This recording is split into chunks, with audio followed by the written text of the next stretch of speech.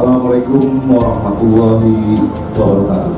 Dalam rangka peduli terhadap pendidikan, kami memberikan bantuan kepada masyarakat, khususnya kepada adik-adik SD, SMP, SMA, ya, yang memang sangat membutuhkan ya untuk sebagai sarana prasarana pendidikan secara online ini menyiapkan untuk modem internet ya jadi kami siapkan ada sekitar 1.500 dan ini di hari yang sama, yaitu hari ini pun dilaksanakan di beberapa daerah.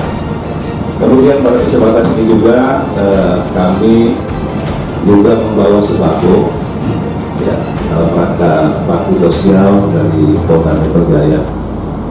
Saya berharap tentunya eh, sembako ini ya tidak terlalu banyak, tetapi ini bisa bermanfaat bagi masyarakat yang membutuhkan.